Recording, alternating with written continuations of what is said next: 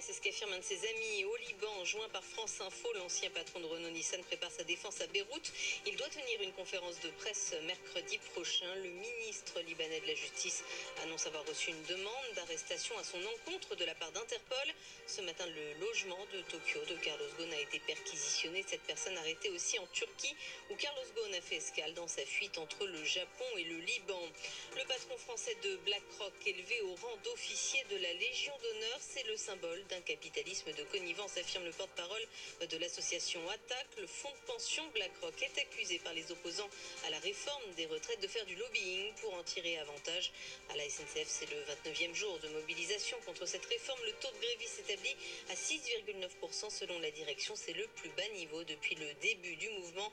Parmi ces grévistes, on compte un tiers de conducteurs.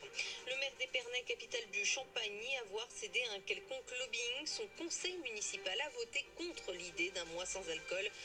Opération lancée par des associations. L'idée ne pas boire une seule goutte d'alcool jusqu'à la fin du mois après les excès des fêtes.